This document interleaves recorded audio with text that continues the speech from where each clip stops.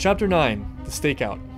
Ooh, look, they have a mover poster of me. Must be big Nuktuk fans. Those are wanted posters. For what? What did he do? Wanted by Her Majesty the Earth Queen.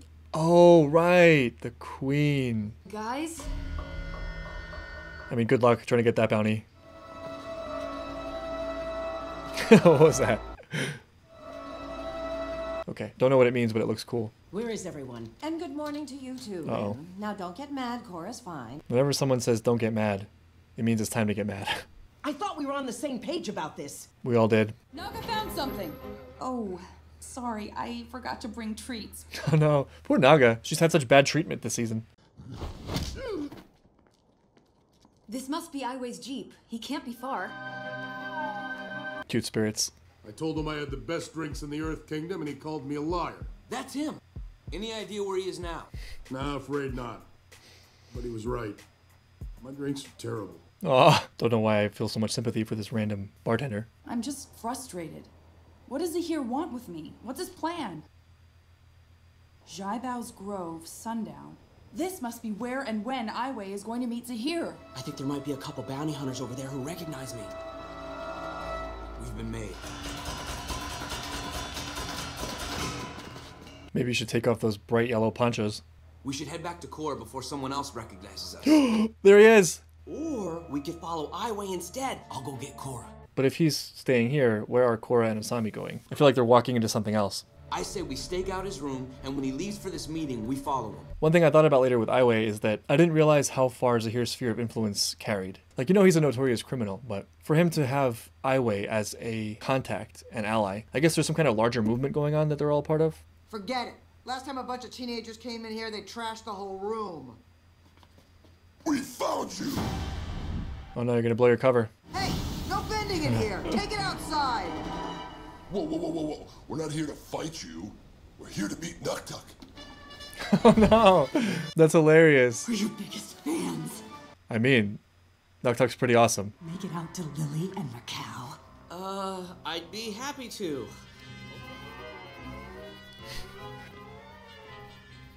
I made this Nuktuk doll. Oh! I mean, her demeanor is off, but that's cute. That's endearing. I would appreciate that. If someone made me a, a squeaky Alex doll, hell yeah, I'd sign it. It has like sound effects and everything. Aww. It's actually really good. Looks like a Funko Pop. Why didn't you tell me your friend was a mover star? How do you not know? There's literally one mover in the world, and you don't know it. If you know what a mover is, then you know what Nuktuk is. Although it wouldn't surprise me if Varrick managed to scale this business a thousandfold in like two weeks. I thought stakeouts were supposed to be exciting. This isn't.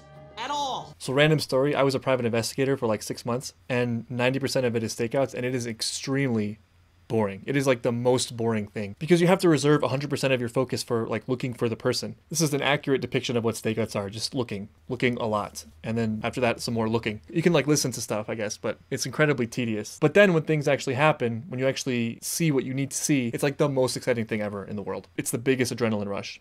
Ooh, I wonder if there's any snacks in here. Wait, I've seen that before. I've seen, I know what that is. Where did I see that? A Pai Sho board. I'll play. No offense, but I learned street Pai Sho from Shady Shin, and I am pretty good. I learned to play from my dad, Mm. the diabolical genius. I can't help but wonder if the Pai Sho thing is going to be related to the White Lotus because I think in the first episode when Zaheer was free, he talked about bringing an end to the reign of the White Lotus. And the way I most know Pai Sho is through Iroh, who was a member of the White Lotus. And it's a tile in Pai Sho, right? Ladies first. I like how the animals are just watching. My money is on Asami. This game is all about slow, methodical strategy. No, it's not. This is a fast-paced, edge-of-your-seat game of chance. Don't think, just go. I don't know what Shady Shin taught you, but it wasn't the real Pai Sho. The origins of Pai Sho date back over 10,000 years.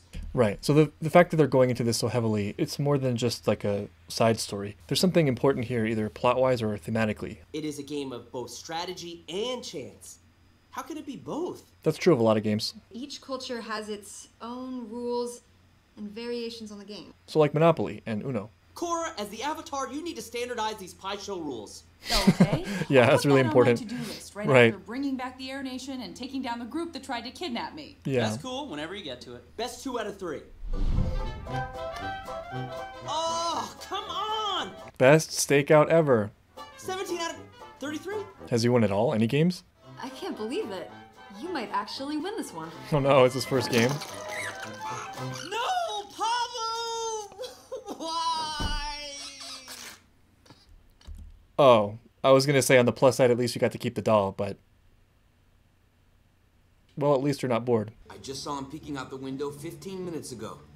It's in my logbook. He's really good at this. Korra, wait! You're gonna blow our No, Eleanor that's not the plan. How are you gonna eavesdrop on them then? What if Zaheer's in the room right now? Oh my god. It's over, Aiwei. Where's. What? Are they like astral projecting? Asami, those spirits were trying to tell us something earlier. It's in the spirit world. It's in the spirit world. Interesting. That also takes away a lot of their power. You told me we wouldn't have any problems getting the Avatar. Because of you, we've all been compromised. But you weren't counting on Pabu. He's the real hero. You left a loose end. I assure you, no one knows anything about us. No, you are the loose end. Zaheer! What did he just do? What effect does that have if you throw someone's spirit body off a cliff? So this is their first real head-to-head, because last time she kind of got knocked out real quick. He'll be spending eternity in the fog of lost souls. Oh. Which just leaves the two of us. Awesome. But they're not going to fight. I mean, they're going to talk it out. There's no need for aggression. Neither of us has our bending. I'll answer whatever questions you have. Yes. You deserve that much. Thank you. I feel like he's talking to me. We are part of a secret society dedicated to restoring freedom to the world, the Red Lotus. Red Lotus. But it doesn't explain why you tried to take me when I was a kid. That was Unalaq's idea. What? Hmm. Avatar Korra. Misty Palms Inn. Wow. So he's in both worlds at once. We learned about Raava and Vaatu and how Avatar Wan foolishly severed them.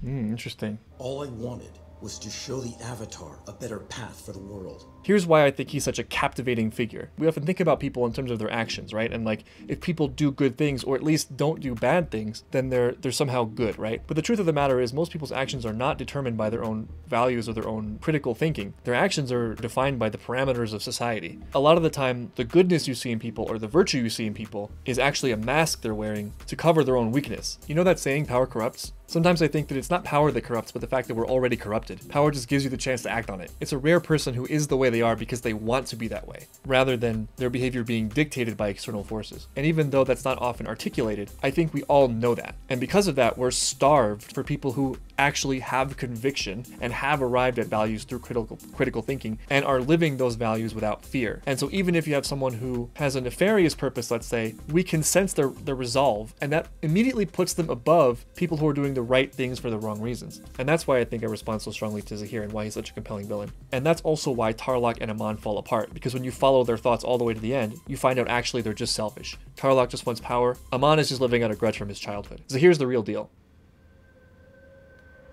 Oh, here they come. Oh, wow, they gotta defend her body. Water arm lady and lava guy found us. Yeah. Come on, wake up! No, no, no, leave her in there. Just gotta, you gotta take care of it. You guys are, are strong enough. And you got Naga.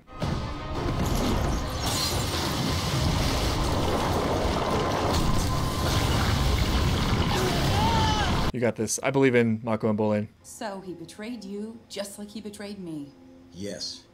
He allowed me and my friends to remain imprisoned while he pursued his own selfish goals. Right, and in his prison no less, right? One of them was in the Northern Water Tribe prison. The idea of having nations and governments is as foolish as keeping the human and spirit realms separate. You've had to deal with a moronic president and a tyrannical queen. Don't you think the world would be better off if leaders like them were eliminated? True freedom can only be achieved when oppressive governments are torn down. It will throw the world into chaos. Exactly. The natural order is disorder. Mmm. Do you know Cool. who once said, new growth cannot exist without first the destruction of the old? Guru Lagima? The wise guru Laghima. Laghima, damn it, I keep getting that wrong. Airbender. Wow, that was an awesome conversation. One insight I think he has is that destruction and chaos is healthy and even essential for the growth and strength of a system. At an individual level, we need stressors, physical stressors, to make us healthy. Exercise is, in a way, the destruction of muscles, and they are built again stronger. Similarly, your immune system needs pathogens. If you sit in a sterile room your whole life, your immune system is not built and you're actually more vulnerable to pathogens. This also applies to species and is an essential part of natural selection. Death is part of the feedback process by which nature learns and strengthens itself. And there is also a natural selection for societies, right? Like some societies work better than others. One element in all these examples is failure is localized, meaning one node of the system can fail without taking the whole system down with it. It's like one ant dying will not affect the colony in any meaningful way. Putting this in more practical terms for society, the danger is when failure is not localized, meaning when there's one ruler that comes into power that suddenly has control over the outcome for the entire society. That creates a single point of failure that affects the entire system. And I think that's the argument against heavy centralized power. And I think that's part of the validity of Zaheer's point. In order for things to be truly healthy and to grow in a manner harmonious with natural selection, decisions have to be more individual and failure has to be more individual as well. But I think what he's not seeing is that him deciding to take this sweeping action does carry that risk of systemic failure. I'm not necessarily convinced that the Earth Queen isn't the result of natural societal processes. Like, isn't her reign in some way a choice by all of its citizens to tolerate her rule? Wasn't the president of Republic City elected? I think in many ways it was an individual led, organic process by which they came to power. And I think the solution is not taking top down actions that carry these systemic risks, but rather passing along the message that each individual is responsible or plays a role in the larger scheme of civilization and therefore has a responsibility to live their best life in the best ways they can and to define their own values through critical thinking to the best of their ability and then live in accordance with those values. I think ultimately that message goes farther in creating this robust state where the society is a collection of all its individuals rather than having one person, in this case it would be Zaheer, taking sweeping action that would affect everything. Whew. Apologies for the long rant. Let's continue. Mm, he looks a little bit, a little bit outmatched. Both of them.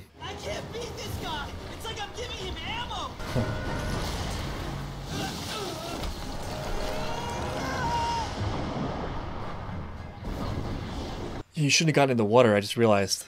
Just a waterbender.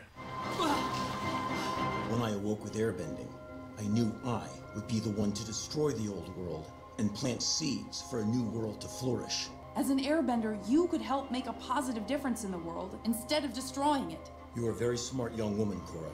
But you must realize that once change begins, it cannot be stopped. Enough with your philosophical mumbo jumbo. I want to know one thing. If you do capture me, what are you going to do with me?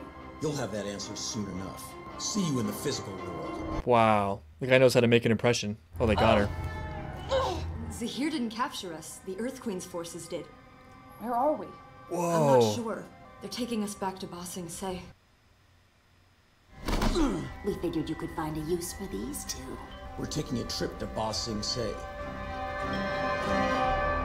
Wow, that episode was amazing. So now we have like three forces that are all going to come together in Ba Sing Se. We got Team Avatar, we got Team Zaheer, and we have the Earth Queen and her forces. And the episode ends on such a dark note. Korra and Asami captured by one side, Mako and Bolin captured by the other. I can't wait to see how this all goes down. It's going to be so much fun. But unfortunately, as short as that felt, this is the end of the episode. We're heading into the final stretch. I'll see you tomorrow for episode 10.